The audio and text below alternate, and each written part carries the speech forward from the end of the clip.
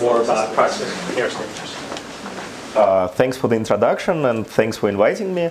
Uh, this talk is continuation of Alex's talk, and uh, it is also based on joint work with Alex, Assaf Naor, Sasha Nikolov, and Erik Waingarten. And let me just say, say that I will try to make it as self-contained as possible. Uh, so basically, even if you didn't follow uh, what Alex was talking about, hope you will get something out of it. In particular, let me again start with introducing the problem we are solving, just in case.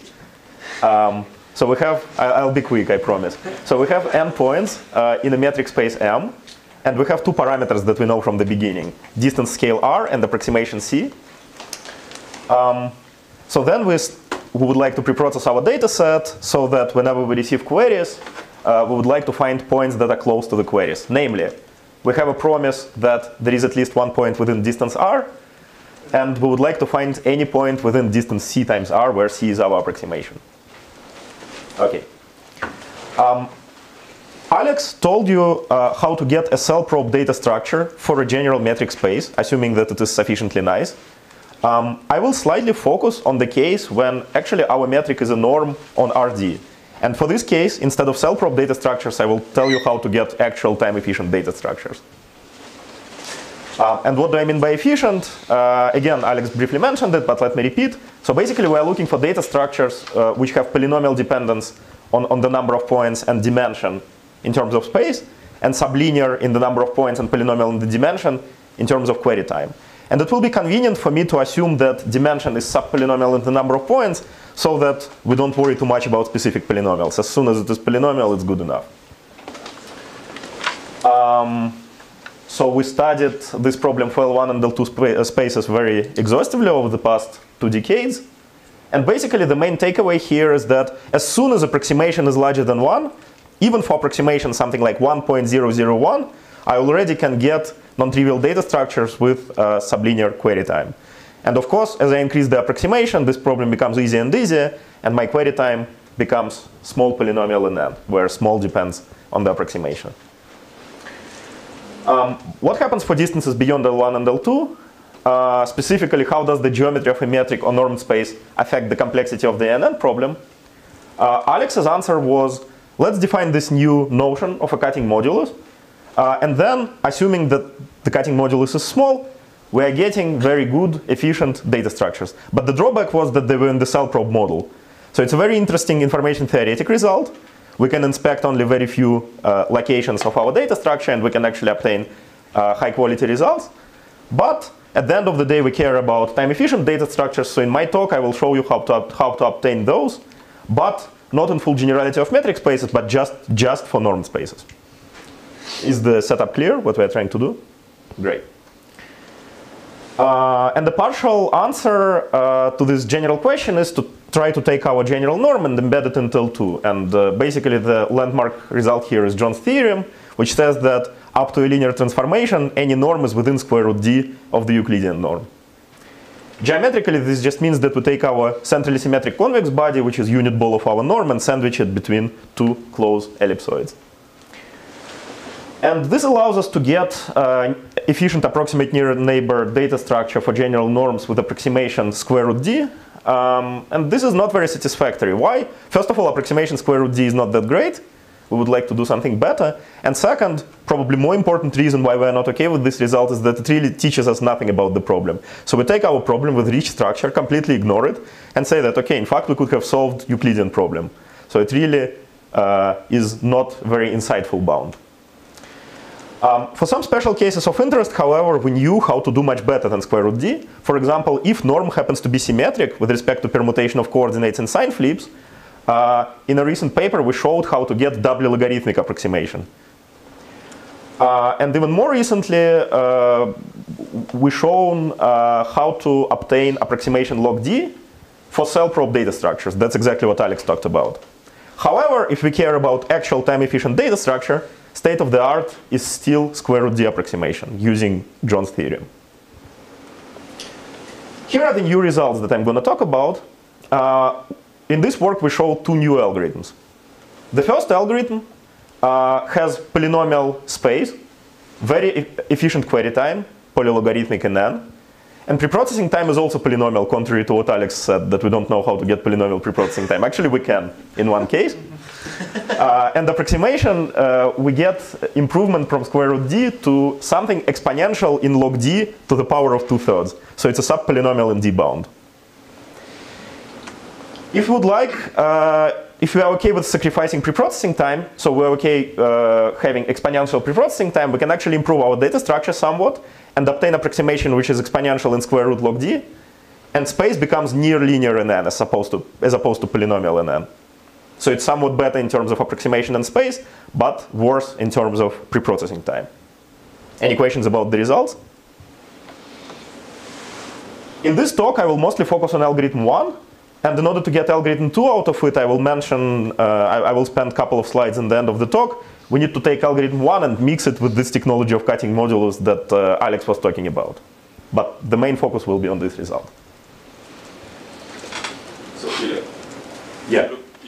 Classical algorithms that are exponentially deep because you allow exponentially deep in the second column. But only for preprocessing, not on. Not only the time, but also the preprocessing space. Mm. Well, it's a little bit, what do you mean by preprocessing space? So uh, at the end of the day, you produce something of polynomial size. Whether you use exponential space during the preprocessing, probably you do, yeah.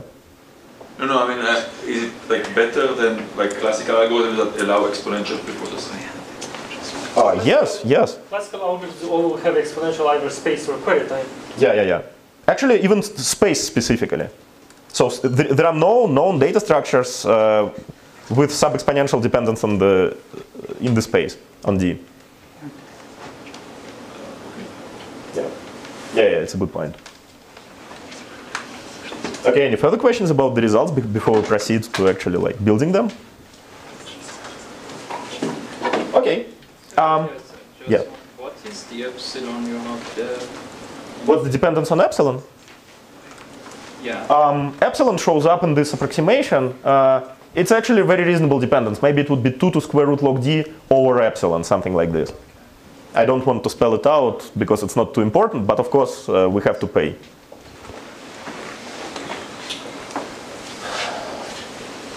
Okay, let me outline an approach at a high level, how we will be obtaining our better data structures. Uh, the starting point is a nice result of Bartal and Gottlieb, which independently was obtained by Naor and Rabani but never published.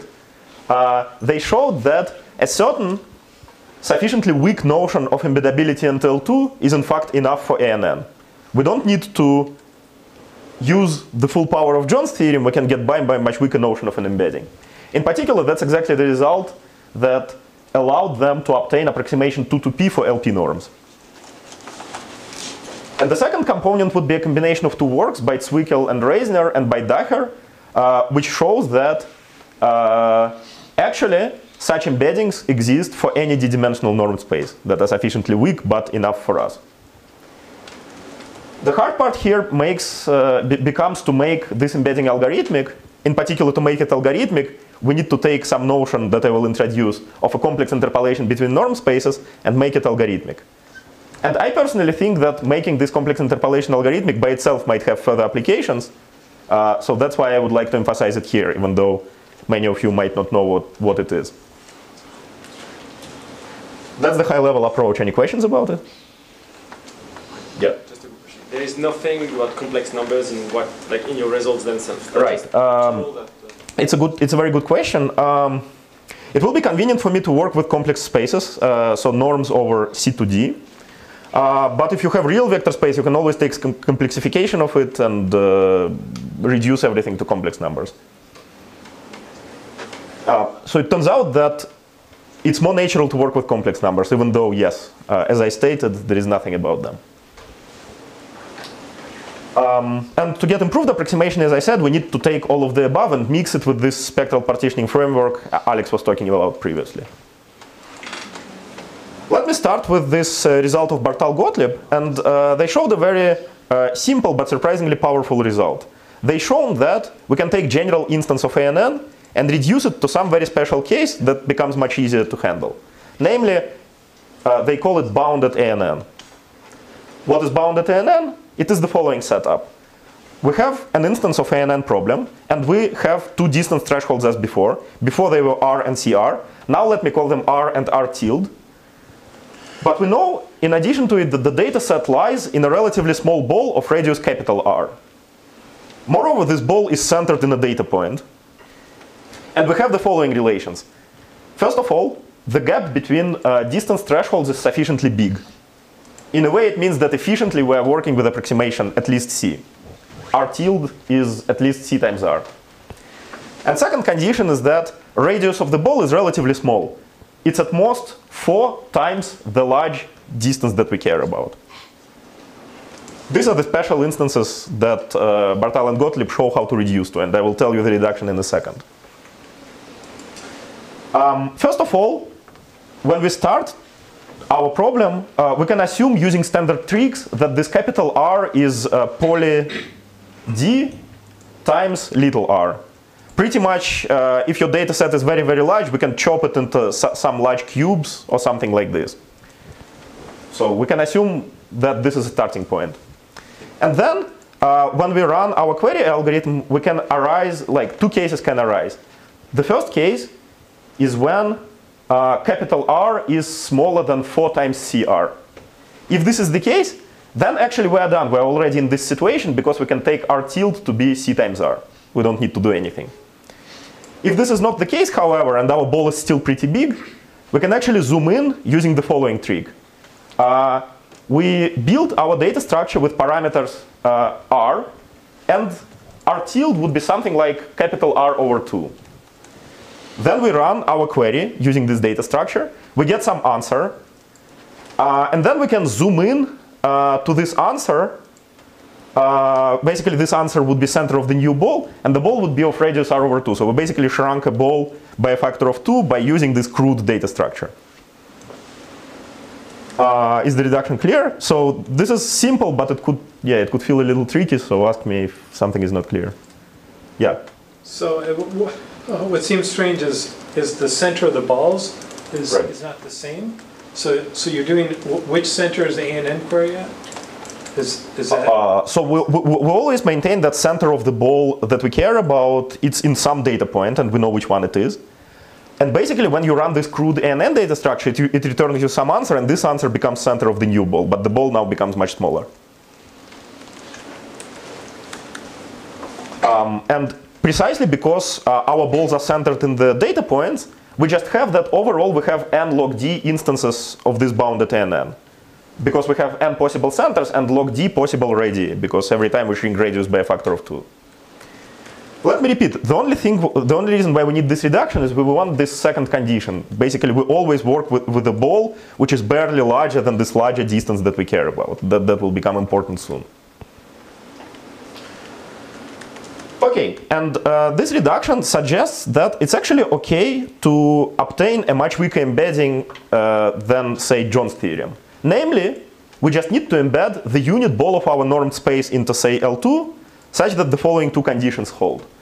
Distances at most 1 over 4 approximation are mapped into distances at most, say, 1, and distances at least 1 quarter are mapped into distances at least 2.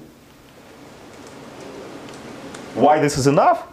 Because then we can combine, uh, combine such an embedding with the reduction from the previous slide and ANN data structure for L2, and we would be able to execute the plan from the previous slide.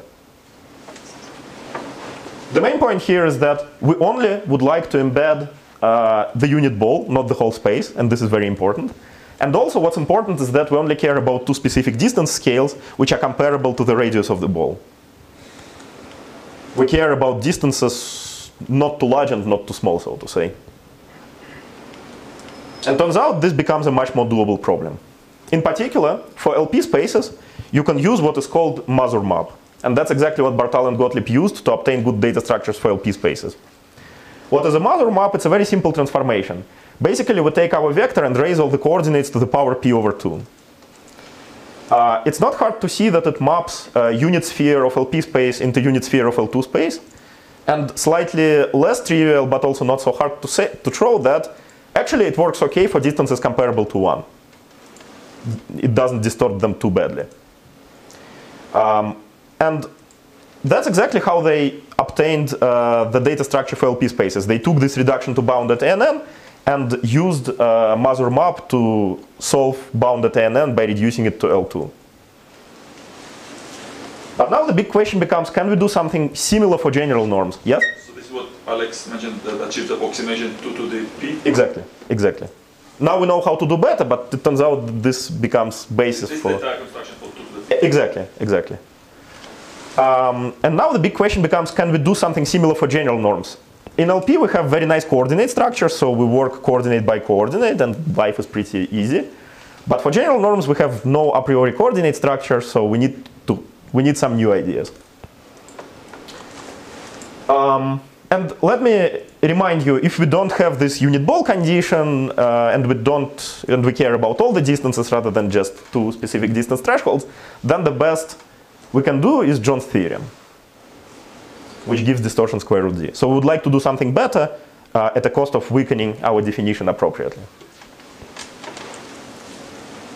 Uh, so now I will have a little detour. I will introduce two notions for you, namely of uniform convexity and complex interpolation. Uh, these are very important and fundamental notions that, uh, that are applicable well beyond approximate nearest neighbor search, so bear with me. It's, it's useful knowledge to have, unless you already know this. What is a uniform convexity? Uh, it's basically a property of a norm space. Uh, formally, it is defined like this. If I have two unit vectors in my norm space, uh, and they're sufficiently far, distance is at least epsilon, then norm of the midpoint is sufficiently smaller than 1. For example, this is not a uniformly convex space because you can take two pretty far unit vectors, but their midpoint also has a unit norm. For, but for example, if you take Euclidean ball, then it is uniformly convex. As soon as your points are sufficiently far, then it's not hard to see that this can't be too close to 1 in terms of the norm. Uh, informally speaking, this quantifies how flat our unit ball is. Basically, if our unit ball is round, then it's good, and we are uniformly convex, otherwise we are not uniformly convex. And more quantitative definition here would be that the space is p-convex if dependence of delta over epsilon is that delta is at least epsilon to some power p. For example, it's not hard to see that Euclidean space is 2 convex. So basically, if your unit vectors are epsilon apart, then uh, norm of the midpoint would be at most 1 minus epsilon squared, just from Pythagoras theorem.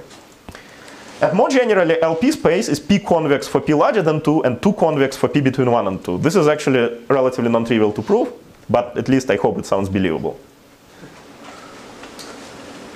Um, and um, in, 90, in 1982, Cwikel and Reisner proved the following very nice result. Take any d-dimensional norm space.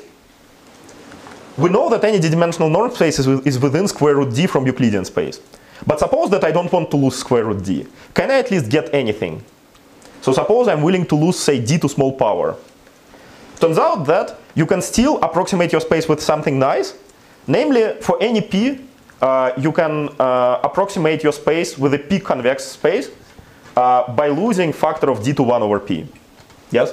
Here the approximation is bi-Lipschitz? It's Yeah, yeah, yeah. So just. I want to introduce a new norm of my space that is within, point-wise within this factor from my norm. Yeah. Alternatively, it's a bi-Lipschitz embedding of. So the strong notion of, like, you don't need such a strong notion of approximation. uh, That's what you were saying previously, but this, but that actually. Yeah, yeah, yeah. But I also can as well get it in this generality, yeah. Okay. Yeah.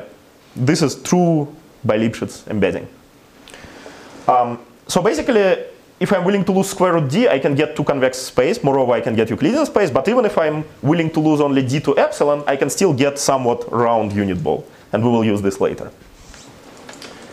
And now here is a central notion of the talk, complex interpolation. I told you that the main uh, bulk of the bulk of our work is how to make it algorithmic, but let's now define it existentially.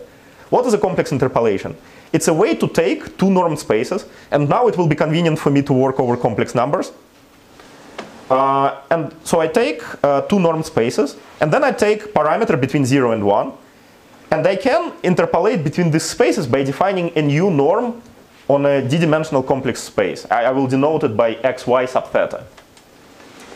Informally speaking, I would like uh, some definition such that if I change uh, theta from 0 to 1, my space evolves from x to y in a nice enough way.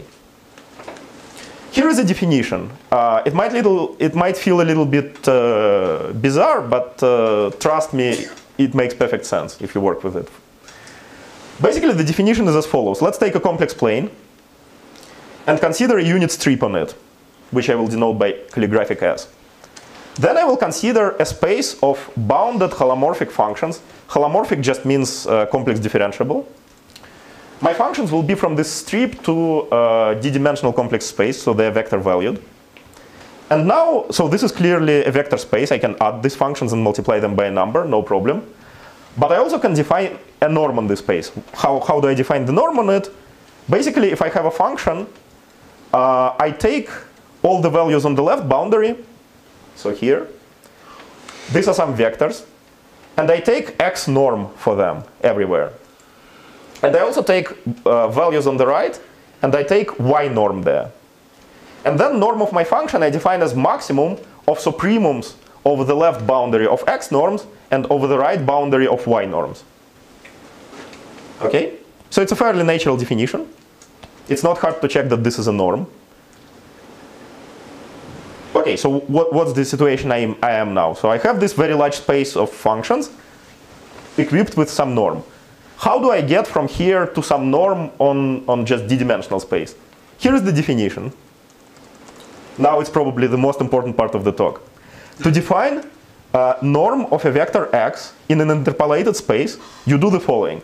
You put your x in this point, theta, on the real line, and then you search for a function in your space that, that has as small norm as possible, but in this point it has the value x. What it means is that you are just looking to have value x here and as small vectors as possible here and as small vectors as possible here. You kind of try to smoothen it. If x is large, you still kind of want to have nearly zero vectors here, nearly zero vectors here. This is my definition of a norm on an interpolated space. Yeah. Can you briefly give some intuition on why this is something somebody would want to define? Right. Uh, I, I, I will tell you in a second the answer to this, but let me for now tell you why this is a norm. That's a more immediate question. It's not even clear that, that this is the case. Actually, almost all properties are easy to check except one. One property that we always take for granted, but here it turns out to have some substance, is why the norm is zero if and only if x is zero. In particular, why can't it be the case that we have some non-zero value here, yet on the boundary we have zeros everywhere? But that's roughly the beauty of complex analysis, because we have some version of maximum principle that just tells us this can't, can't happen. That's exactly why it's easier to work over complex numbers for this setting. Other properties of a norm, it's relatively easy to check, and uh, this turns out to be a norm. And uh, partially answering your question, Clément, uh, for example, if you interpolate between LP spaces, you also recover LP space. This requires a proof, but this is the case. Uh, and more motivation will be on the next slide. Um, usually, actually, uh, when researchers use complex interpolations in the proof, they use, uh, use it to actually interpolate between LP spaces. But we will use it in bigger generality for general norms. Any questions about this definition? So this definition is very tricky and it could feel unusual, but uh, maybe it's good time to spend. Yeah. So, um, so you have this, uh, this, this picture on the right, and you said it has to have values on x and y and at x. Is there a picture to think about what the, the interpolated norm looks like in there, or? You mean how the optimal functions look like? Yeah, or- what the function looks Right. like. So for example, for LP spaces, uh, my if if my function will have some value here, then basically on any other vertical line it will have. So this is a vector, and then all the coordinates I will just raise to some powers, and these powers will depend on on this uh, x axis, real real. On, on the y-axis at all? It will depend. It will it will multiply by some complex phase or something like this everywhere. That said, don't quote me on that. I might be wrong, but I think it's something like this. Actually, uh, so this definition is important because uh, that, that, that's how we define this object, obviously. But on the next slide, I'll give you some axiomatic way to work with this definition so that you wouldn't worry too much even about specifics of it. Yeah. Did, did you come up with this just by needing it? Oh, no, we- this old paper? right, right, right. Of course, we didn't come up with it, uh, and it- actually, wait for the next slide. I think after the next slide, most of the questions will be addressed like this, how, how the hell we came up with using it. Um, here is a, somewhat of ax- axiomatic way of working with it. Uh, in particular, we have the following simple but very nice fact. Take any vector and take interpolated space. Then the norm of the vector in the interpolated space, it can be upper bounded by norms in the original spaces through this formula. Very natural relation. Um, even more useful is the following uh, slight generalization of this inequality. Suppose you have two complex spaces, d-dimensional and k-dimensional. And suppose you have a linear operator between them. Uh, then on the original space, you can introduce two norms, x and y, and on the target space you can also introduce two norms, u and v. And you can interpolate both of them. So we get xy sub theta, uv sub theta. Uh, then uh, turns out that the operator norm of t as an operator from here to here can be upper bounded by operator norms from x to u and from y to v. Again, using similar formula. And turns out that that's pretty much the only property you in fact care about. Many of the properties of complex interpolation you can derive not working with the specifics by just working with this operator inequality. This the Riesz-Thorin interpolation theorem? Uh, yes, but they showed it specifically. I, I believe that their theorem is for LP spaces, but it's a corollary of this fact if you just work with LP spaces here. Yes, it is a Riesz-Thorin theorem. Is the complex interpolation the only interpolation that's known which achieves these properties? Uh, so there is a real interpolation, which I believe in some applications is more useful. In particular, Clement has a paper that uses it. I think it achieves similar property, but maybe losing a constant factor. Complex interpolation is nice because it's not losing any factors. In particular, a simple corollary of this property, if you just apply it to identity map, uh, is that if x and y have distance phi, then actually distance between x and interpolated space changes accordingly. It's like at most phi to some power theta. For example, if, if theta is zero, then of course this interpolated space is just nothing else but x, and x is within distance one from x, multiplicative one. On the other hand, if theta is 1, then it just recovers the fact that x and y are phi closed. And this, uh, we have graceful degradation here. Um, and the big idea uh, in, in like, we use it in our work and the papers that we use it, used it there too. So basically the main idea is that why even interpolation is the right thing, how we came up with it. The point is, here is a very useful technology. We take our normed space, which we, have, which we don't have any handle on, it could a priori be anything, and we interpolate it with the Euclidean space. But what Euclidean space should we consider? The one given by John's theorem. So John's theorem gives us some Euclidean space that, that is square root d uh, close to us. And then let's just like interpolate between x and h. And what we will get as a result, we will get something that still resembles x somewhat, yet it is at least a little bit Euclidean. And that's exactly the main theme here. That's exactly what we're exploiting, and now I hope this partially answers why we're, why we're doing what we're doing. In particular, I promised you the result that any space is sufficiently close to something p-convex. That's exactly the way to prove it. So you take your original space, you take your Euclidean space given by John, John's theorem, and then you just interpolate between them. And uh, by this property, you know that this space is sufficiently close to x. And it's not very hard to show that it also happens to be p-convex, where p is what you expect it to be. That's exactly how this result of Cwikel and Reisner is proved. Any questions about this axiomatic approach? Great. Uh, and uh, I already mentioned uh, a paper by Blais, Canonne, and Gur, who use some variation of complex interpolation, namely real interpolation, to solve uh, some distribution testing question in a very nice way. There is also another paper by Garg, Lee, Song, and Srivastava who use it to obtain new concentration inequality for matrices. Uh, given these two results and our result, I think it's natural to uh, study complex interpolation, embrace it, and prove more new theorems using it.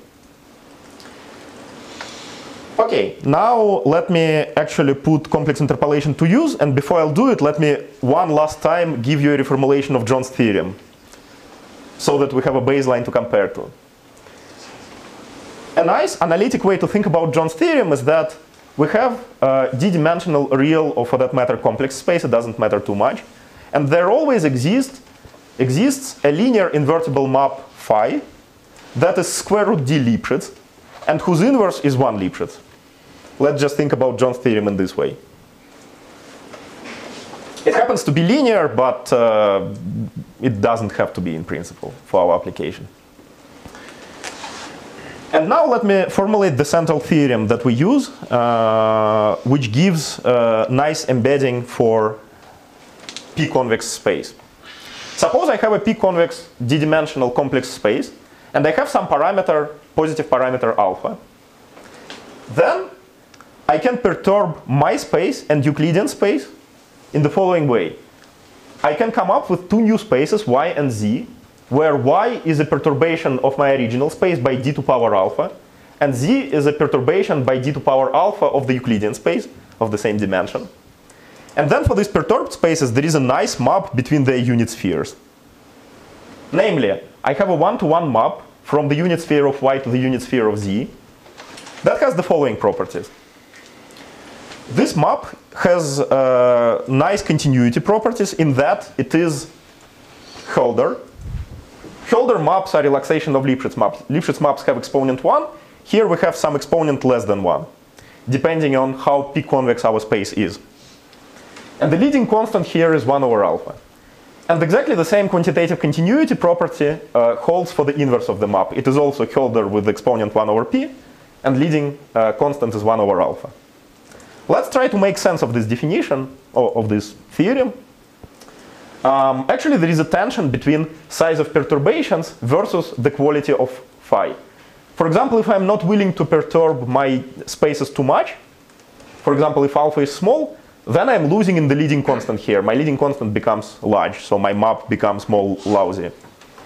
At the same time, uh, quality of this map uh, drastically depends on how p convex my space is. For example, if p is small, so its unit ball is pretty round, then we actually have a higher exponent here, which is actually good. In some sense, we are closer to being Lipschitz. That's roughly the theorem. Is it uh, any questions about it? Basically, in the title, I have Hölder homeomorphisms. It's exactly these maps. Sorry, why is higher exponent closer to being Lipschitz? Well, Lipschitz corresponds to exponent being 1. First of all, exponent is never more than 1. Actually, in this theorem, it's never more than 1 half, because p is always at least 2. Okay, okay, okay, okay. Right? In fact, like any map is zero Hölder, because uh, we map balls to balls. So 0 is trivial, exponent 0 is trivial, exponent 1 would be ideal, and we get as close to 1 uh, like we, we, get closer to one as our space becomes more and more convex, like uniformly convex. You mean closer to half? Uh, half, yeah. Okay. Yeah, well, closer to half means closer to one too, right? sure. We never get more than, we never get higher than one half. It's somewhat of an artifact, but we are okay with it. Okay, and let me tell you roughly how this map is constructed. I will not give any proofs, and in fact, even in the construction, there some intuition? Is it not possible to get uh, higher than half? I don't know. Actually, it could be like, for example, Mazur map for LP spaces. In one direction, it is Lipschitz. In the opposite direction, it's also just Hölder. Um, but I don't know if like the fact that here we can't get in both places one, more than one half. I don't know if it's necessary. Yeah. And for alpha itself, uh, we should think of alpha being between zero and one half because of. Yeah. Um, for example, it never makes sense to set alpha to be more than one half. In fact, like for our applications, alpha will be very, very small, like subconstant in fact, but positive quantity. Think alpha being like 1 over log log d, maybe. Or 1 over square root log d, something like this. Okay, let me tell you the construction. As I said, I'm not gonna tell you any proofs. Moreover, even in the construction, I'm gonna lie a little bit for the sake of simplification, but it's almost the correct construction. I'll tell you where exactly I lied. um, and we use exactly the same idea as we used when we approximated an arbitrary space with a, with a p-convex one. We again use the interpolation. Namely, my perturbed spaces y and z are just interpolated spaces between x and square root d closed Euclidean space. Namely, to get y, I approximate away from x by 2 alpha, and to get z, I approximate away from h by, again, 2 alpha. Basically, my spaces y and z correspond to vertical lines close to 0 and close to 1. Okay. Now, um, how do I map? How do I construct my map? So I would like to take uh, a vector that lies on a unit sphere in, in Y, and I would like to produce a unit vector uh, in the space that corresponds to Z. To do this, I basically uh, take my space of bounded holomorphic functions and find a function that minimizes this sup norm that I defined previously. Basically, that minimizes sup of x norms on the left and sup of h norms on the right. I take this function and then I read off the value of this function in the point 1 minus 2 alpha, and that's my map. Um, first of all, you would need actually to prove quite a few things here. First of all, why is it even well defined? For example, what if minimum is not unique? And in fact, the way I stated, uh, minimum actually might not be unique, and we need to minimize some other norm, not this norm. That's exactly the lie that I promised you. But if you define this norm appropriately, the minimum will be unique, and then you can show that this vector will always be unit, which by the way is also non- non-trivial. That's a corollary of uh, maximum principle in some way. And then of course you need to uh, prove quantitative continuity properties of this map, uh, namely that it is, namely that the map and the inverse are Hölder with appropriate parameters. Is the construction clear, modulo this details?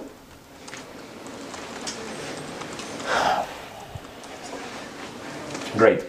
Um, okay, now uh, an elephant in the room is how to use it for algorithms.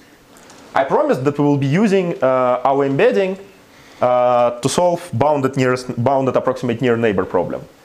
But uh, in particular, uh, we need to be able to compute norms in interpolated spaces. In fact, this is pretty much like the only hard part. If you can compute norms in interpolated spaces, it's not hard to, to do everything else. How to do it is not a priori clear at all because uh, we are optimizing finite, our infinite dimensional space of uh, functions from the strip to C to D. Um, but pretty much here we need to very carefully discretize everything. In particular, instead of looking for unrestricted function, we are looking for the function in this special form. Let me try to tell you what's written here. Um, basically, these are some scalar functions that are a priori fixed. The only variables here are these vectors. And we can show that without losing much accuracy, we can a priori bound these parameters epsilon, m, l, and actually magnitudes of these vectors. However, this is not the only problem uh, of the, that our space is uh, infinite dimensional. We have another problem that our norm is super like infinitely long uh, uh lines. Uh, but basically, we can truncate and discretize these lines. And the reason why we can discretize and truncate is because we have a priori bounds on, on, on these vectors, on L, on M, and on epsilon. So we basically say that by discretizing these lines, we are not losing too much in our norm. And now uh, we're actually sort of done, because if anything, now we have at least a reasonably sized convex program, which we can hope to solve. There is one wrinkle here. Um, how do we even have access to our norms? It's natural to assume that we have oracles that just given a point returns a norm. Uh, we fall into the realm of ellipsoid method pretty much. Given like membership oracles, we would like to optimize some convex function. And that's exactly what we can do, but we need to be slightly careful. In particular, we need to have good dependence of the error of the algorithm on the error of the oracle. Namely, they should be related polynomially. And for this, we need to take slightly more uh, care than usually, and we need to use certain robust ellipsoid method uh, from this work of Lee, Sidford, and Vempala. But that's pretty much it. The main idea is we need to very carefully discretize. Okay, now let me assemble all the pieces together and tell you how to use this uh, Daher's embedding to solve approximate nearest neighbor problem. We start with a general norm and approximate it with a p-convex norm using interpolation. That's the first step. The second step is we use a reduction from Bartal and Gottlieb uh, that reduces general instance of ANN to bounded version of ANN using this recursive descent into smaller and smaller balls. The third step is we use Daher's theorem and reduce everything to the Euclidean case. And finally, we use any good data structure for ANN over L2. Um, yeah, pretty much anything that gives reasonable runtime. And finally, if you optimize all the parameters, uh, in particular, you need to optimize uh, this P. and you need to optimize alpha in the Daher's theorem, how much we perturb. But if you do everything, then the best uh, approximation you can get is this, exponential in log d to power of two thirds. Okay, the question is, can we do better? and the answer is yes. Uh, we can actually improve our approximation a little bit to exponential in square root log d. And we also get, as a byproduct, we get better space. Uh, space of the data structure that I've just described, I think it's something like n, like essentially it's n square. Here we can drive it down to near linear in n.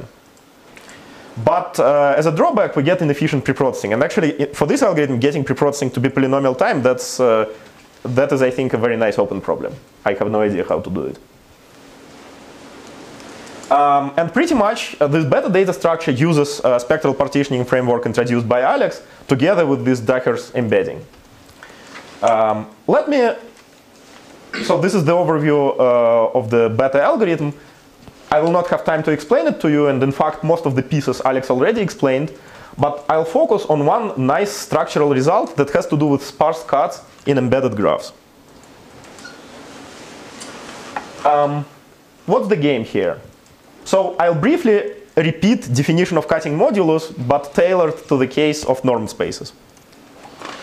Uh, what are we trying to do?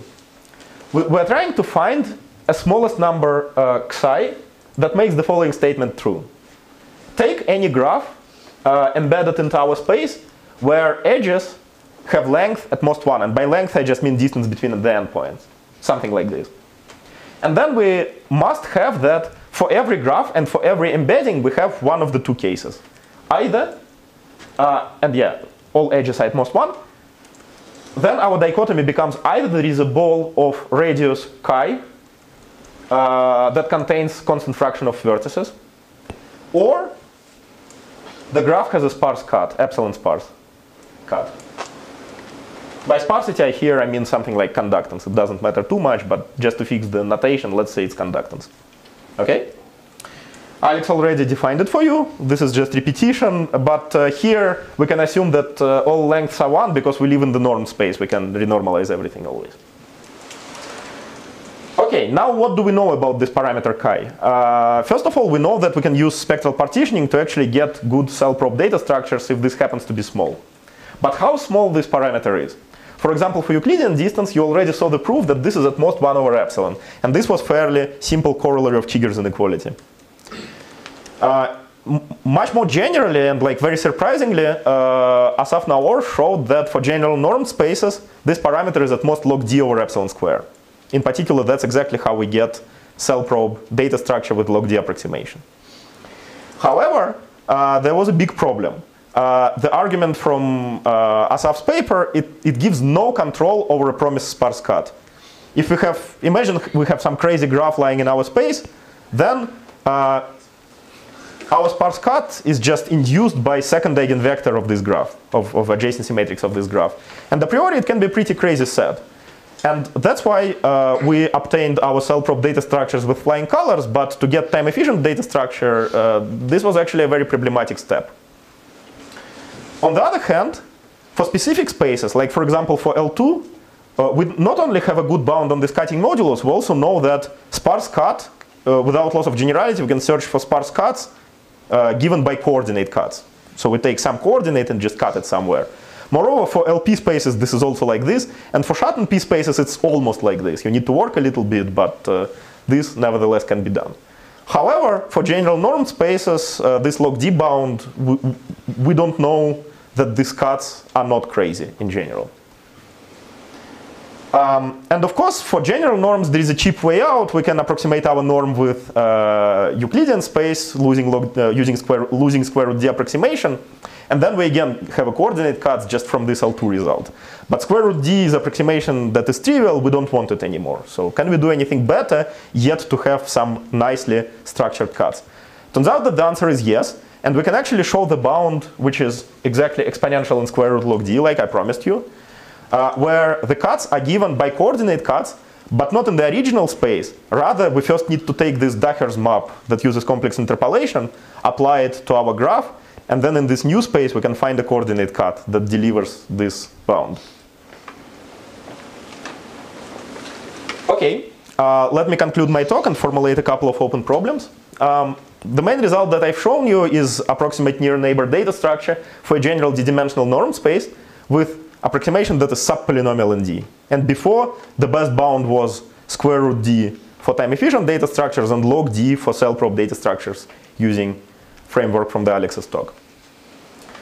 Um, of course, there is a pressing open problem of uh, driving down this 2 to square root log d approximation to something polylogarithmic in the dimension, ideally to log d, but even like any polylog would be very exciting. And probably even more interesting open problem here, can we find more applications of Daher's theorem? Uh, this is a very powerful theorem which was completely overlooked. I personally see it as the following result. So we have a John's theorem, which says that you can approximate convex body with ellipsoids. This gives a certain uh, stronger quantitatively statement, but weaker uh, structurally statement.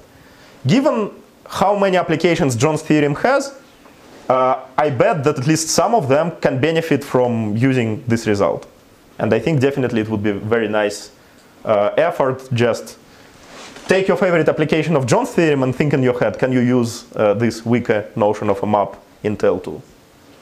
That's all I wanted to tell you. If you have any questions, it's perfect time to ask me.